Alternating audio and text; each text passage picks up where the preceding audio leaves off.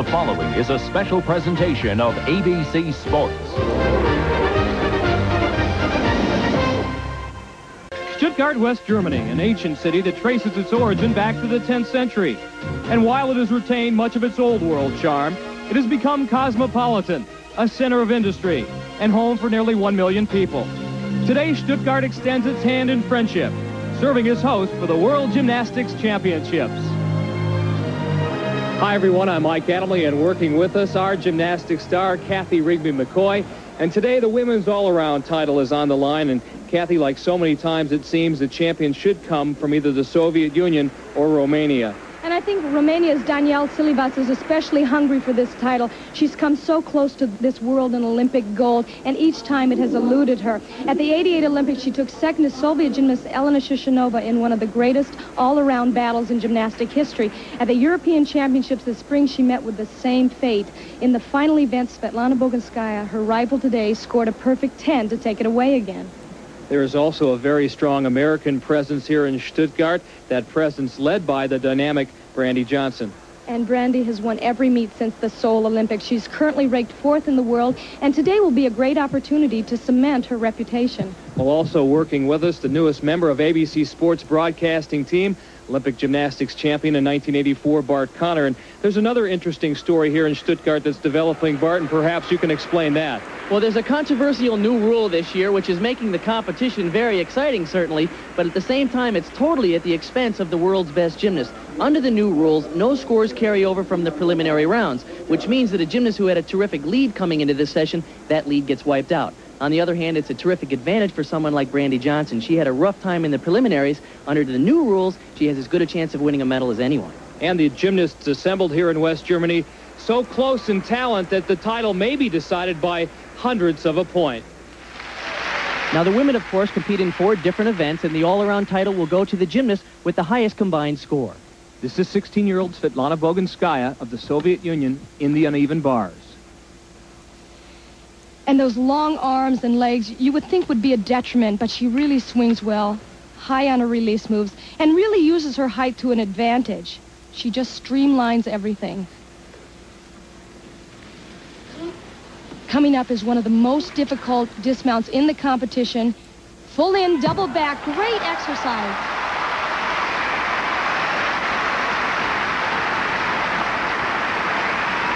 Well, Cathy, as you mentioned, those long lines certainly are very beautiful on the bars. Look at the position on this straddled toe-on, toe-off.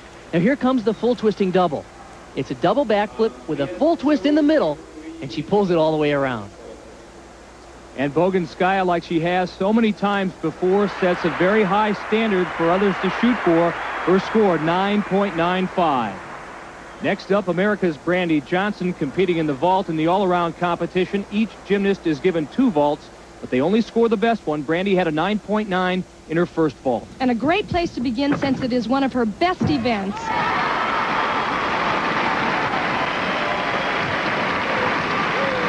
Brandy was fifth in this event at the uh, Olympic Games in Seoul, Korea, and she picks up where she left off, getting a helping hand from her coach, Kevin Brown. The trickiest part of this vault is keeping good form, as Brandy does, and look at the height and the position in the air.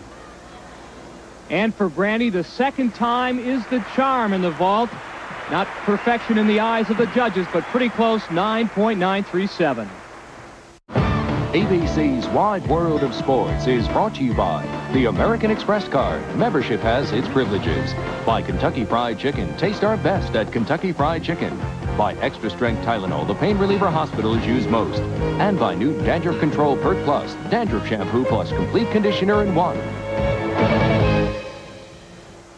Ready to compete in the floor exercise, Romania's Daniela Silivas. And let's go back to the Olympic Games in 1988, Seoul, Korea, where Silivas and Elena Shushunova, the Soviet Union, engaged in perhaps one of the great all-around battles in Olympic history.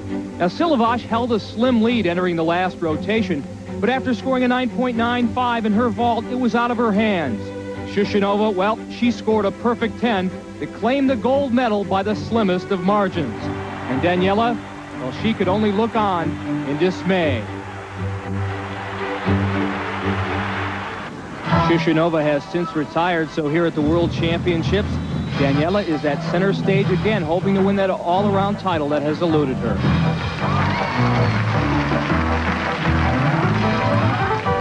And even though Daniela's had trouble in the all-around, she is past world and Olympic champion on the floor exercise.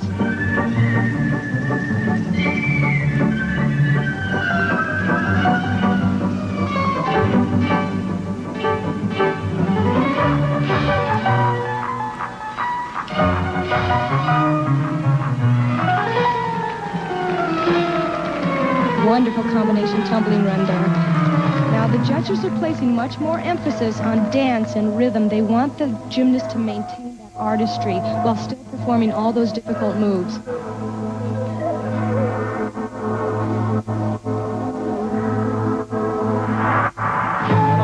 Became interested in gymnastics when she was six years old watching who else?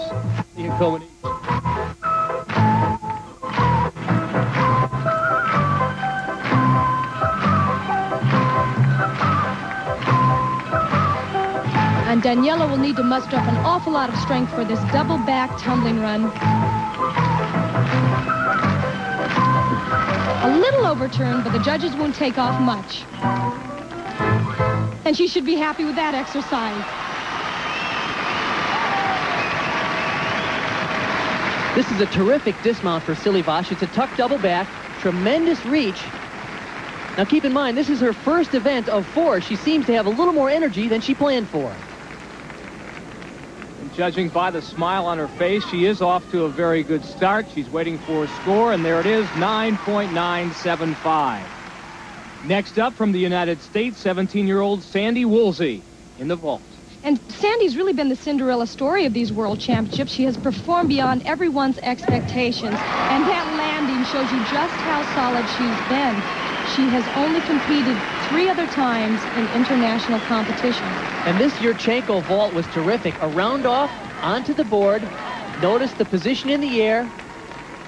And look at her spot that landing. Boom. Sandy making a statement for the American team. Hey, we've got more guns than just Brandy Johnson. Her score, 9.